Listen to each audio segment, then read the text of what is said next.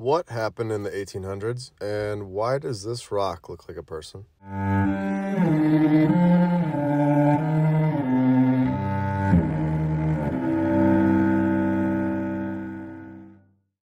Most of these incredible buildings were supposedly built in the 1800s. People didn't know how to do anything for hundreds and thousands of years until our amazing society showed up. Is that true? Or are we getting an ego boost to distract us from the truth?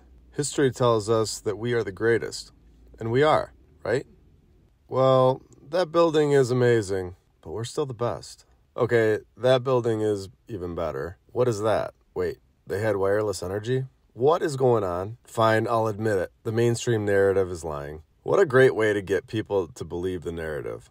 Tell them that they're the best. Who is going to question that? I guess some like us will, but the majority won't, for now. We look around, and most of these incredible ancient buildings were taken over by banks or the USA. The USA and banks were both created, and what do you know? Right after that, we get all these brand new inventions. If we had these buildings in the 1800s, there's no doubt they had technology that is also hidden from our history. Other types of technology other than just building. If this timeline is planned, then all previous history is false or extremely altered. If this is true, and this isn't the first time the car and the light bulb were invented, where are we? And when was the first time it actually was invented? How long ago?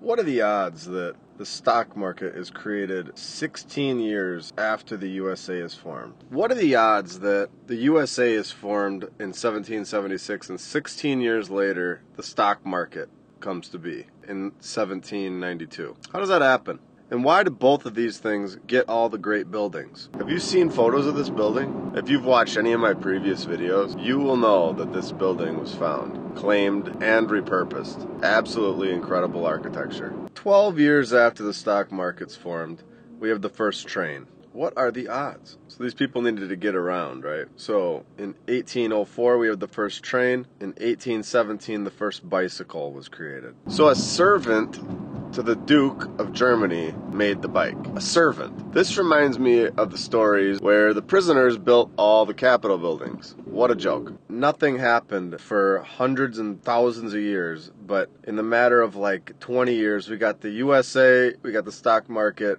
the first train, and now we got a bike. And this is just crazy. Of course, we have to wait a long time now, till 1863 for anything else to happen. What torture.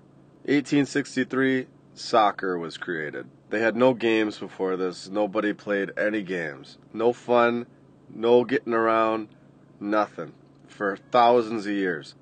No fun. Finally, we have some fun in 1863, and we have the first phone in 1876. So you can see we're getting some fun, we're getting some toys, we're doing some technology, we're introducing it to the community once again, in my opinion. That same year, 1876, we got another game created, the Major League Baseball. So now we have two games. Now things are getting fun. So the mainstream narrative can't figure it out. They don't know where baseball came from. They say maybe from a game called tut ball, stool ball, Flanders, rounders. They just don't know. Then in 2005, someone wrote a book called Baseball Before We Knew It, and they don't know what the heck is going on. Honestly, it's embarrassing for them when you really read what they're saying and have open eyes people are starting to use trains and bikes and phones and sports all in the matter of a few years. Go figure. Nothing happens for thousands of years, but as soon as the USA opens up, everything starts happening. What are the odds? It's starting to rain here, if you can hear it. I'm sorry. In 1878, the first light bulb. So now we've got electricity.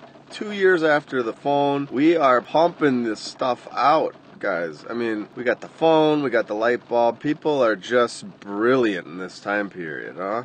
Creating games. Should we mention the electricity story where Thomas Edison flew a kite with a key attached so he could electrocute himself? I bet you they wish they wrote a better story for that one. Oh, wait, what? Only eight years later we got the first car? This is no way.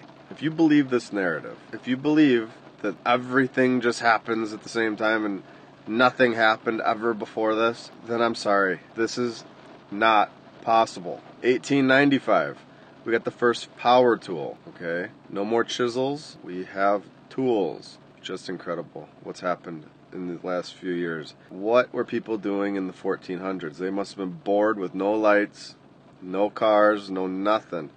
What were they doing in 2,000 years ago? I have no idea. I mean, oh my gosh, they must have been hiding in a cave, if you believe the mainstream narrative. Well, eight years after the first power tool, we definitely need to start flying a plane, right? So in 1903, we got the first plane. Let's just start flying these things around. The Wright brothers were so smart. Their mom must have been so proud. The first airplane flew 852 feet on its fourth and final flight, supposedly. But get this, it was damaged while landing. And minutes later, a powerful gust of wind blew it over and wrecked it. Couldn't write that any better. It had to get blown over by wind. And then in 1920, the NFL was created. So we've got tons of games, tons of tech. We are just going.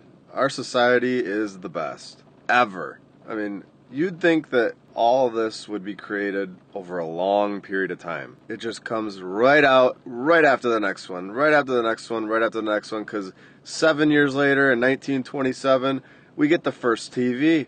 People are making cars, planes, trains, TVs, power tools, electricity. Unbelievable. Unbelievable. But of course, the USA, the government, and the stock market were first.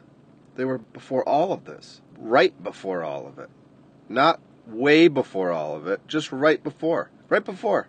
In 1936, we have the first computer. So now we have TVs, computers. I mean, what's next? 1946, the NBA started. So basketball starts with the most ridiculous story of all time. They started the game of basketball with a peach basket and a soccer ball. You know, all of us, we all just make games on our free time with peach baskets that turn into multi billion dollar industries. And in 1983, the internet was created. Just incredible. This timeline is so short, yet you've got everything you need, and you had nothing before this. How do you go from nothing to everything? It doesn't make sense. If you believe that, like I said earlier, there's nothing I can do. I can't, there's nothing I can say. If you really believe that we've gotten everything all in a matter of 200 years, then there's nothing I can say. This is proof, in my opinion, that they had all this stuff. They know how to run a society from scratch. They implant it right into our society. After a few years, and here we are today. If this timeline was in court, the judge would laugh and tell them that this narrative is absolutely ridiculous. I hope you guys enjoyed this video. Please like, subscribe, and comment below if you have any other things that just you could add to this timeline. I'm sure there's a there's more incredible inventions within this time frame, but I hope you guys like this video. I'll be posting a lot more, and I hope you guys have a great day. I'll talk to you guys soon. See you later.